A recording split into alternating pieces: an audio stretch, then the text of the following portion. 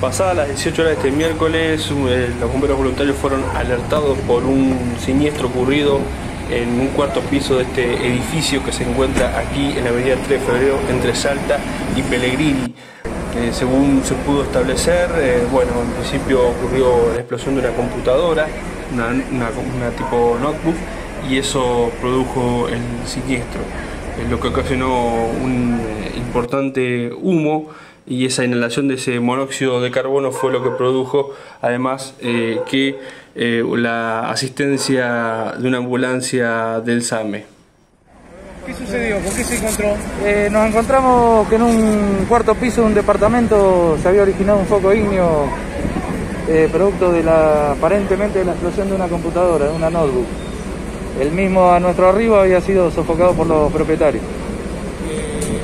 Ya, ya se estaría controlado totalmente. Eh, sí, sí, ya está extinguido, a nuestro arriba ya estaba extinguido. ¿Únicamente daños materiales? Eh, solamente material. la persona hay una femenina con principio de asfixia y... ¿Fueron asistidas? Va, va a ser asistida por el personal de SAMA. Gracias. Gracias.